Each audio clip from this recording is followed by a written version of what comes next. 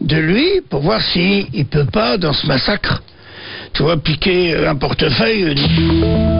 Face à la crise énergétique et à la nécessité d'améliorer son bilan carbone, RTL cessera à partir du 1er janvier prochain sa diffusion en grandes ondes. Cette mesure s'inscrit dans le cadre du plan de sobriété que met en place RTL, la diffusion sur les grandes ondes étant très énergivore. Pour continuer à écouter RTL, c'est très simple. Basculez avant le 1er janvier votre récepteur radio en FM sur la fréquence de votre ville. Vous pouvez également écouter RTL en direct sur rtl.fr et sur l'application RTL. Retrouvez toutes les informations concernant ce changement sur notre site rtl.fr ou contactez-nous au 01 41 92 40 40.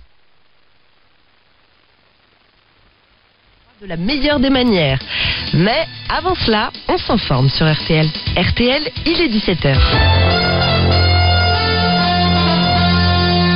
Les informations, c'est avec vous, Boris Karlamov. Bonjour Boris.